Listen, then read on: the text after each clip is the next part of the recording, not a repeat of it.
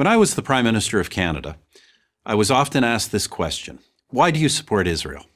My response, in effect, was always the same Why wouldn't I support Israel? Why wouldn't I support a fellow democratic nation where open elections, free speech, and religious tolerance are the everyday norm? Why wouldn't I support a country with a vibrant free press and an independent judiciary? Why wouldn't I support a valuable trading partner and a wellspring of amazing technological innovation? Why wouldn't I support our most critical ally in the Middle East and in the international struggle against terrorism? In a rational world, in a world where simple common sense prevailed, the question, why do you support Israel, would be like asking, why do you support Australia or Canada? But we don't live in that rational common sense world. So the case for Israel has to be made over and over. I, for one, am happy to make it. Let me start with this. Every military action Israel has ever taken has been to protect itself. Israel is not an aggressor state. It's a defensive state. This has been true from its founding to this day. As a fledgling nation in 1948, Israel was immediately attacked by its Arab neighbors. Their goal was not to contain the tiny new country, it was to annihilate it. No nation came to Israel's aid. Not the United States, not my country, Canada, not the United Kingdom. No one. They all thought Israel would lose, but it didn't lose. It won. In 1967, Israel's neighbors again sought to utterly destroy the Jewish state, a nation that had then existed for two decades. Again, Israel prevailed, and it survived another all out attack in 1973.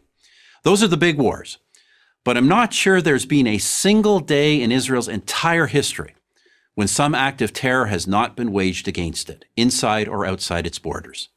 There have been two bloody waves of terror, so called intifadas, in the late 1980s and the early 2000s, when Israelis were blown up on buses, at pizza parlors, and celebrating weddings.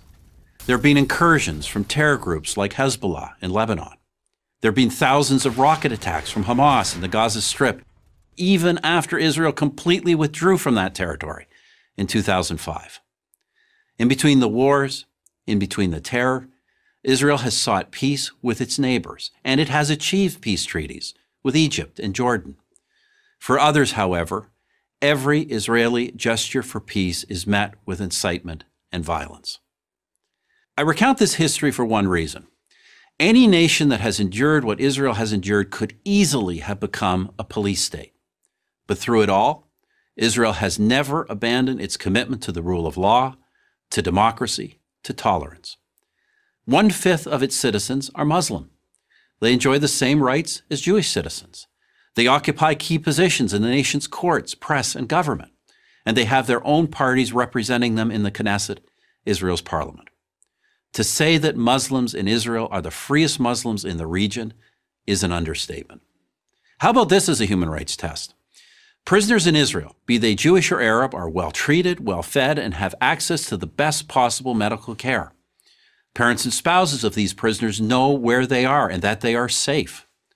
Who else in the region but Israel can make that claim? Through all the wars and all the terror, Israel has survived, and especially in the last 20 years, it has thrived. It's known as Startup Nation, and with good reason.